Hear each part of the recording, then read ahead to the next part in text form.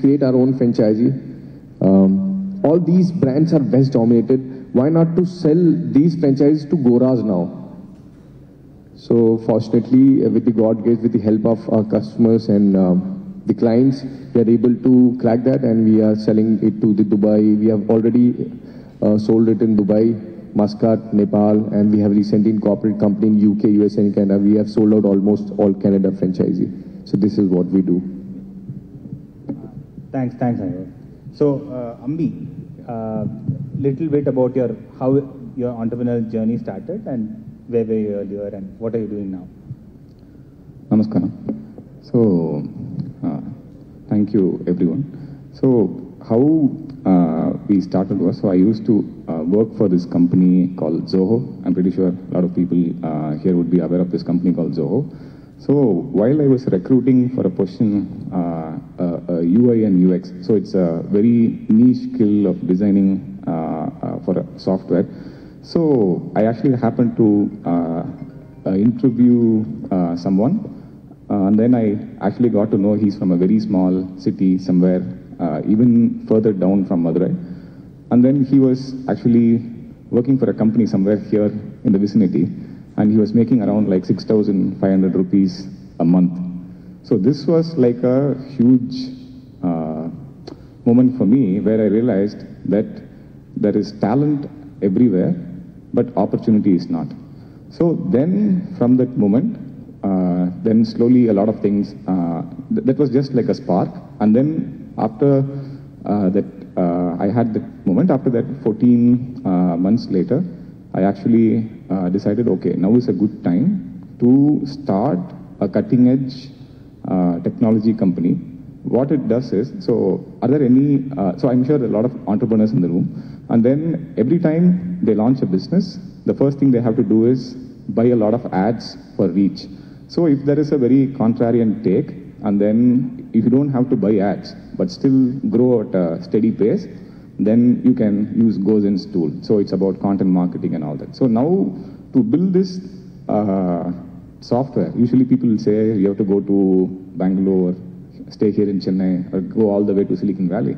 And then what we decided was, so I have a co-founder called Rahul. So, uh, so both of us decided that let's move to where our roots is, and then uh, we'll not raise any outside funding. So whatever revenue that we have made, so we've been in existence only for 14 months. We are not a big company. We're a very very small company. We less than 40 people work there. So in the uh, so whatever in but what we have done is in the last 14 months we have uh, uh, we have created value which is more than half a million dollar in sales and then we sell to 37 different countries all from Coimbatore.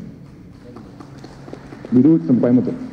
We don't, and uh, 90% of all our staff are from uh, small cities, small villages, and then you'll be very, very surprised. There is so much exciting talent. And then now, after we announced, we see people moving from very high paying jobs, places like Singapore, from the US.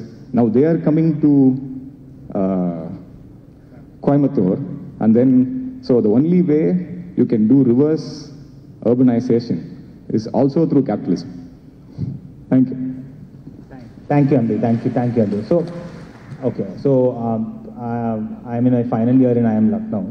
So after I finish my course, I think I can either, either join Anubhav or I can join uh, Ambi. I have a job opportunity right away with me. Okay. Um, You, you, you put both of us in a spot. yeah. So there are a lot of other youngsters who would like to, you know, be in their hometown, still contribute towards, uh, you know, a big IT firm or a, a small level, or they would like to inspire from you and do something on their own. Uh, the core is to, uh, Anubhav is, uh, you know, anchored in Indore, if I'm not wrong, right? You're anchored in Indore. Yeah. So he does not want to move out of Indore. Uh, अभी उनका छः बजे का flight है ना? So he's immediately after this he's gonna go back to Indore. So both of them, the unique proportion what they have is they want to be with their roots and want to do everything from their home. Um, so it's a very good inspiration what uh, he says and the poem which I quote from Bharathiyar, Bharati says, Indians let's do all of this. And you two are such Indians on the stage with us. So tell us uh, the initial challenge, what you have in initial any entrepreneurial journey you take. The first challenge what you have is uh, finance. Managing finance is a very uh, you know crucial thing in any entrepreneurial venture, or or if you're at a level where you get to see it and make it profitable, break even and then profitable. So, what was your uh, challenge in terms of financial uh, management, Anubhav and? So, um, obviously, finance is one of the biggest challenge what, what every startup faces. So, my uh, challenge was uh, finance come family challenge because I didn't told my family about it. So, I didn't have money. So, uh, but my bachpan ka dost had good money, so he invested three lakh rupees. Some, but in in, in a bootstrap uh, company, uh, you don't need to learn uh, the finance very much. The reason being, because if you're bootstrap, you have to save money. Otherwise, you're gone. So. Um, my mom used to say when I was very small, I used to spend money. So he said, uh, she, she used to say, uh, this is your father's money, that's why you're spending. Whenever you, you're going to earn, you will realize how uh, difficult it is to, um, you know, spend this money. So it is really difficult, uh, you know, um, it's very difficult. I, we bootstrap startups saves money everywhere, everywhere. I mean, we, uh, I, may be valued 150 CR crore company, still I use the second hand, uh, second hand car, second hand Swift car. Reason being, it's, uh, we learned from the journey that you have to save money and um, you have to be profitable, otherwise nobody is going to come and if you're taking the funding, your um, management uh, power, your, your vision mm, might dilute. So yes, and gradually we learn the finance also with the help of the CAs, with the help of the experts, with the help of the um, you know the seniors, those who are doing uh, well in the ecosystem. So um, as the startup, you uh, initially you have to save and invest money wisely to survive. That is the survival instinct of every startup, every bootstrap startup, I think. Thank you. So in a way, I consider you richer because you are driving a second-hand Swift. I'm still using my college bike, so it's fine. So, yeah. So, um, see, whenever we talk about like financial models in startups and all that, right? These are all very interesting things. So the moment you say startup, they say, okay, what is your uh, uh, cash flow? What is your CAC to LTV ratio? The problem is all these things kind of like go ahead and then make startup and entrepreneurship very complex.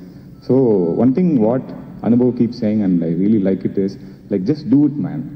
Like don't think too much. Just do it, and then you'll see how things go from there. So, and another thing is they talk about Silicon Valley models, and then uh, they'll talk about the Princeton model of uh, cash flow, and there is also the Harvard, Stanford model of cash flow. But nobody talks about our Amma model of cash flow, which is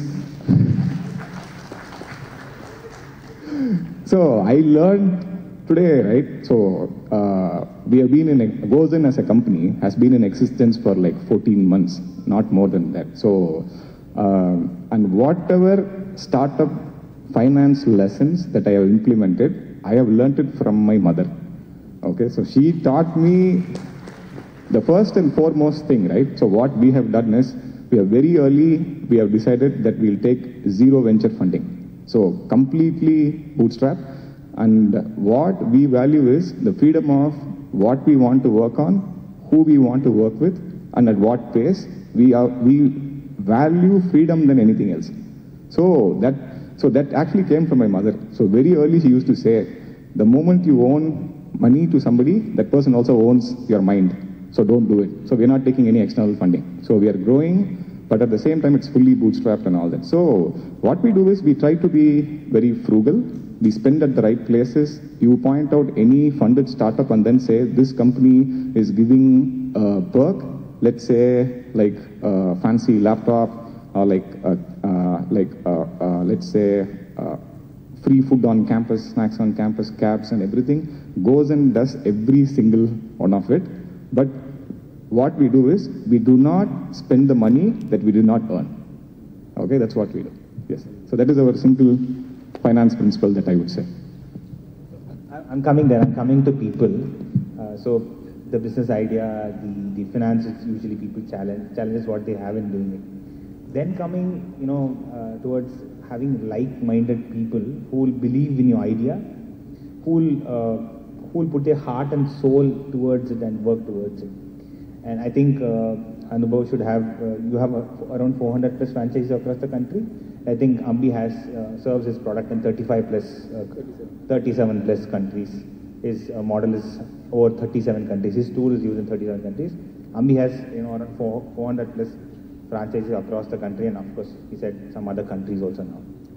Um, how was your uh, you know journey at the initial phase in attracting like-minded people to work towards the idea what you had, which you believe ki, this will work, this can make a larger impact, and from there going to the next level, one in terms of partners, two in terms of employees.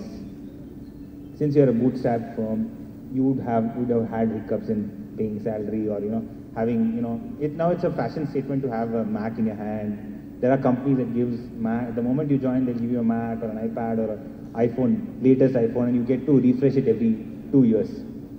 And the expectation of the current Zoomers, I would call them Zoomers, including myself, is very high when they join a firm. So how did you manage the people component, the team component, uh, you know, when you started growing? Okay, that's an interesting question. See, the, I operate under a very fundamental philosophy that you only attract the people that you already are. So you cannot like create uh, anything new or fake it until you make it. Silicon Valley has this thing, right? So they'll say fake it until you make it, right? Don't do it at all. It's it's toxic. So see, the, the biggest problem here with any startup is like you asked, right? You, the moment they say we need, let's say, uh, Gozen does a lot of AI work, artificial intelligence work. In fact, you'll be very surprised. Uh, one of our products, Content.ai, uh, so it launched in the US nine days ago. We already have about 500 plus paying customers, not users, paying customers, right? So the idea here is very simple. The, we keep looking for talent in the cities, okay? And then there are so many people who are curious, they're hungry for uh, opportunity, as a founder, you need to move your life to the place. Understand what is his life, what is his politics, what is him, what is are his aspirations. For a, for a person here, buying a MacBook, buying a car might be an aspiration, but for him, making his mother happy, making his father happy, seeing them live a respectful life, probably could be the biggest uh, aspiration for him. So then you have to actually go to the uh, go to such places and then understand even recruiting itself is very very different. We know, so for all the product and value that we have done, Uh, our highest experience at Gozen is three years. So that's the highest experience we have.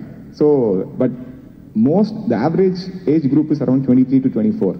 So all of them come from villages. So what we did was we started going to colleges that are in villages and then we took the top people from there. And you'll be very surprised, there are like in every college, there are at least two really good, extremely really good programmers. But as a founder, do we have the patience to go and seek them out? So that's the thing. It's painful initially. Then once we get to critical mass, like 20 people, 25 people, and this guy says, okay, I have a friend who's very, very good. Can I refer him inside the company? And then it's, it spreads very, very easily. And you'll be very surprised. Getting to 100 people is the difficult thing. And, and, and each one, like in product, they say viral quotient, right? For every one user you add, how many new users can you add, right? Purely, it's math from there. So, it is, culture is very fundamental. You keep the culture very vibrant. You keep the uh, founders has to be very rooted in their culture. So, and put people first everywhere. And the initial 10 people you have to seek from villages and tier 2 cities, the magic will happen. It's happening for us. Thank you. So in our case, um, all the ground staff, those who are working in Chai Bar, um, mostly are orphan, disabled, or very economically poor. There are only three sections we employ for. It's around 2,500 people, um, out of which thousands are orphan.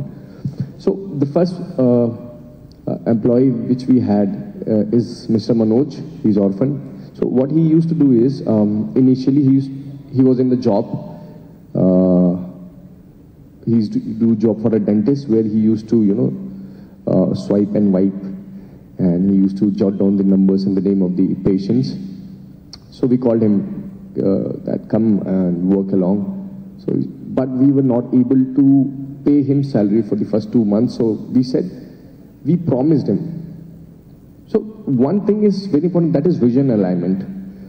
That what we are going to do, it has to be very clear from the very beginning. So we made that show that we are going to be the world's biggest Kulhar Chai franchisee and which we are probably right now because we are selling around 6 lakh Kulhar Chai in a single day. And uh, uh, coming back to the point uh, about the human resource, so we, we made a promise uh, that we will not make our home unless you make it. So now he owns a home in Indore.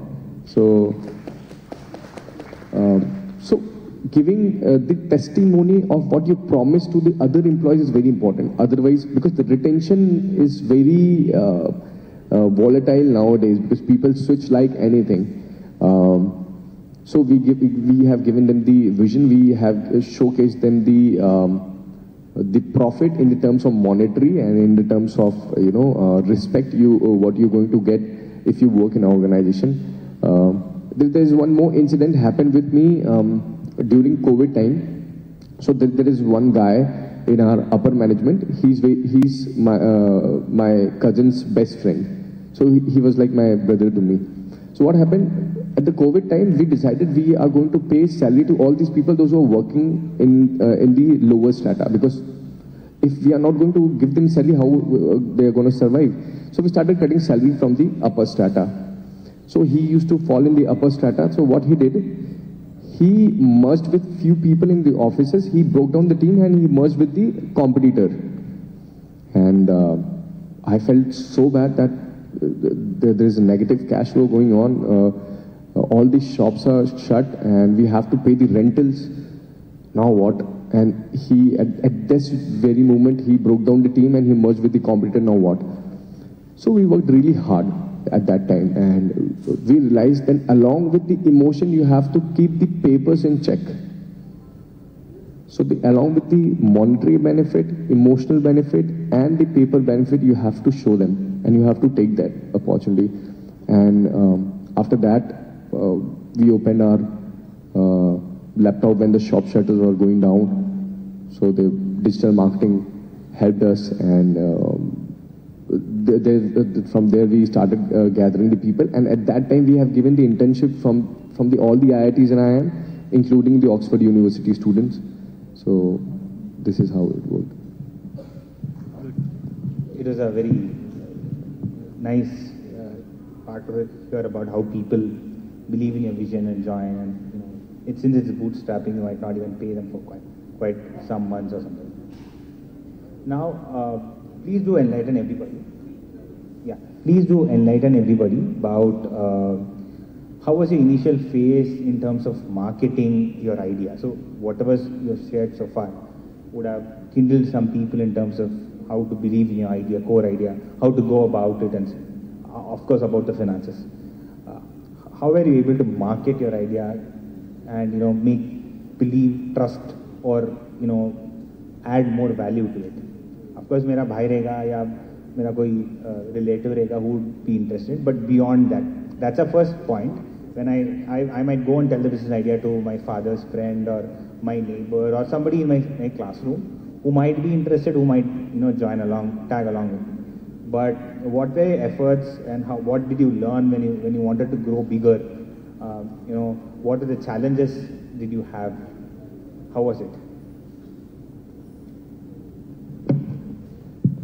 See, uh, initially when we had started, so uh, here in software as a service, right? So they keep saying, like, there are a lot of entrepreneurs who wait to build the product and then they start marketing it. But what we did was, while we were building the product itself, we had actually built an audience over a period of time. And then so the our soft, uh, so instead of launching a full suit, so we have kind of like uh, cut down each part and then launched it in parts. And then we first launched one small piece of plugin outside, like 10,000 people downloaded it, and then out of it, a very small portion bought the tool. So, our fundamental uh, philosophy to marketing itself is before you ask for the sale, give something of value to the person, and then, then we ask for the sale. So, we give them like free books, and then how they can use something on their daily uh, life or learn something new without buying the software itself. So we focus on educational content. We wrote a, a lot of blogs. We, uh, we, we bought in a lot, uh, we, we bought in a lot of free plugins that we used for distribution. Sorry, I don't want to get very technical. So, uh, so what, so what we did was then we got a huge audience built over uh, 12 months and then we launched it. We were able to really uh, uh, uh, take off from that sale. So the idea has been a very Indian way of doing business, not to be very pushy with the sale, but give value and the money will come automatically.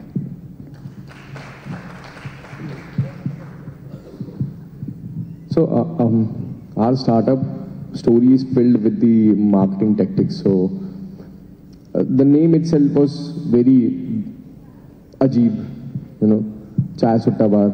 And the placement where we opened, it was near to the girls' hostel.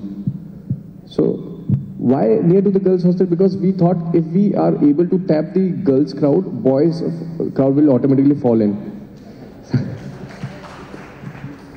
and uh, as I said, uh, I was in the boys' hostel, so I have so many friends from the very beginning. So how we used, we I called them that all the people come here. There is a free tea for everyone. So there is a dummy crowd that people saw it and assumed that my God, this shop is running so beautifully.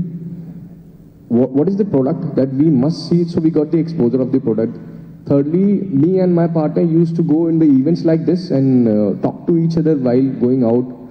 Uh, that we heard that Sutta was telling, yummy tea, bro, let's go. To each other. So it inculcated the curiosity in the people's mind that what is this Chai Sutta let's go.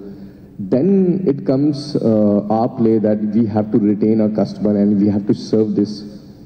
And uh, this is how we did. And uh, when it comes to the uh, cross borders um, made to Dubai, when we started in Dubai, it was damn stringent. None from our forefathers have ever been to uh, any of the country. They just fought with the foreigners. they never been to any of the foreign countries. So when uh, we got the chance to open one in Dubai, it was damn stringent. We didn't know that we used to have three knives for even the vegetarian stuff. Damn stringent. So there- there's one guy, he asked me, um, um, you are able to run in India, how are you going to do it here in Dubai? Because he, he has the motherly feeling of Dubai because he was there from last decade. So I said, how many, uh, what is the population of Dubai? He said, uh, 20 lakh. So I said, it's very small. It, it is like uh, Jabalpur's population. So we made it, and I went to each and every, even the kitty parties I've attended of the Bangladeshis, Pakistanis, uh, Indians, Filipinos, and we made it big. And from one outlet to two outlet, now three outlet, now we are opening four outlet in Dubai. So this is how we worked. Okay, so uh, so far what we have done is we have only spoken about the rosy side of a business, how an entrepreneur grows, what challenges he faces and stuff like that. Uh, we, we'll close this with this part. Uh, what were all the negative stuff that were you know thrown at you, or were you not, were you very fortunate enough you didn't have any negative stuff to it yourself, or how did you overcome it? Because uh, you know that's very important mentally to be you know attached, being anchored, and you know going forward. So there are n number of negative. Uh, I mean, you cannot say, okay, um, see, by the definition, entrepreneurship is something you have to challenge and you have to be problem solving. You cannot cry and uh, say that. Uh, unless until you make it, nobody's going to hear your startup story, your success story. You have to make it. So there are a number of challenges. See, uh, if I will I start telling about the problem we faced, it will be I missed my flight. So um, to, to give you a brief of all, uh, let me address because there are young students I can see sitting here. So what happened? Uh, um we are the youngest company in India who been I mean जिसके पास दो बार narcotics से छापे पड़े। So one about my personal life which I do not say much in public but let me address it because I have everything was going very beautiful in my life we were earning good people were taking the selfies everything was going really good but a year and half year back I have been diagnose with type one diabetes it's a uh, it's a disorder basically which cannot be cured. The only treatment is that you have to take insulin injection whenever you eat. So when I started doing it, I touched coma twice uh, because sugars go down, so you uh, might touch coma. So it was a shock for my parents and for my family, for me as a whole, and uh, it was so much. I, I just went uh, to depression. My hairs, I was losing. I started losing my hairs. So at that time, I realized what helped me. I was coming to the point. What helped me is my vision that I was wearing a invisible jersey written India in it, and we have to sell chai to every single nation. That helped me, and uh, I growed up. And from um, I have been diagnosed with 16.4 HbA1c, which is very dangerous, and currently uh, mine is 5.5, and I gained my weight also. So for an entrepreneur, every day is a challenge and you have to enjoy it and you have to solve that it and you have to address that people so that people can also become the entrepreneur like you. Thank you. Thank you.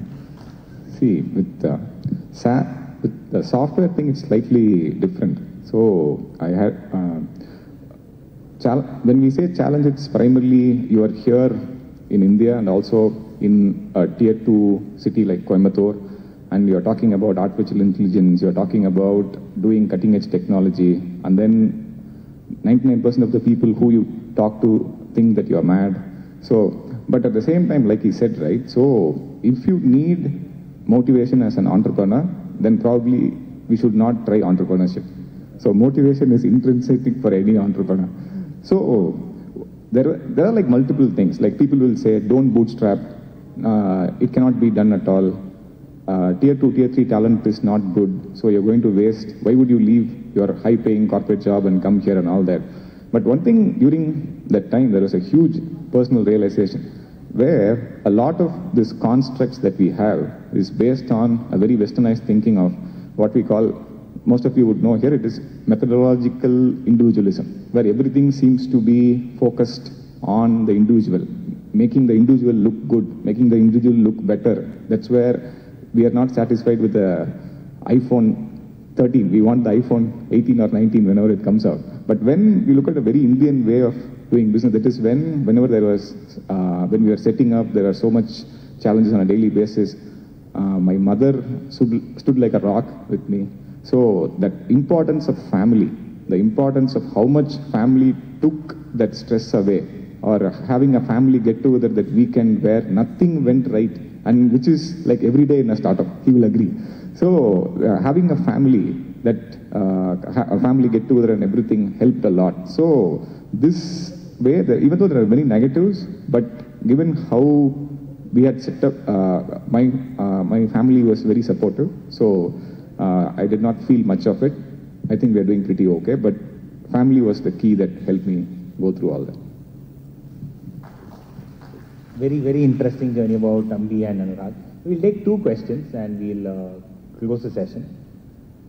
Questions to Ambi or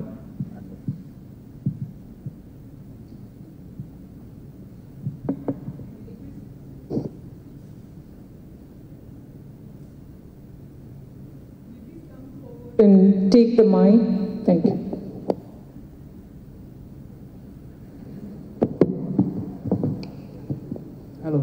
To both of you. Hi. Yeah, firstly, I want both of you to grow much, much bigger than what you are today.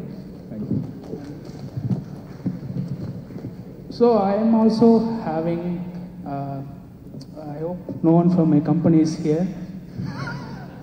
okay. So uh, I work in a. There is a live stream. Okay, that's fine. Uh, at least I'm facing. Okay. You have to go back. So uh, I have ideas about uh, uh, at least doing what I like from my hometown, uh, which is in the food industry. So it might uh, uh, appeal to you.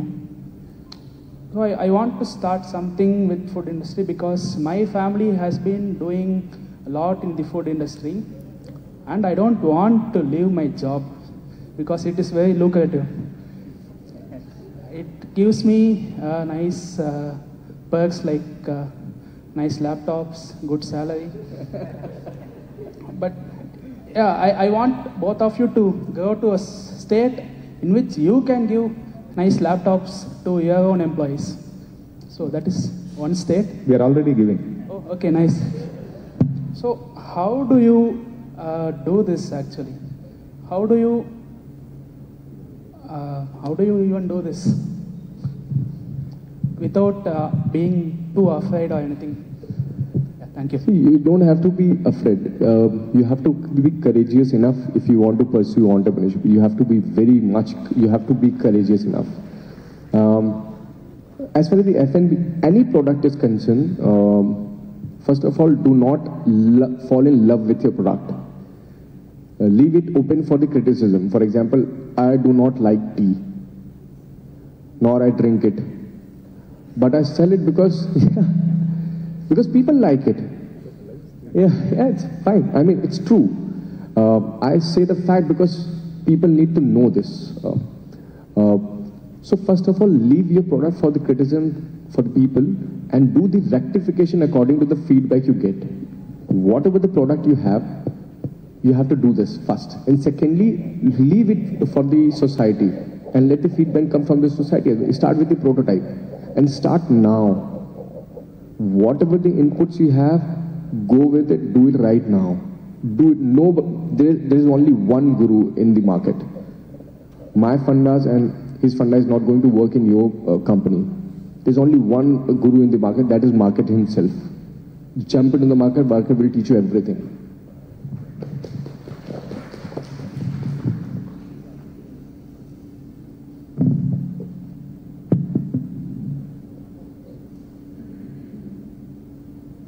Don't have any question, but I just wanted to compliment the chai wala.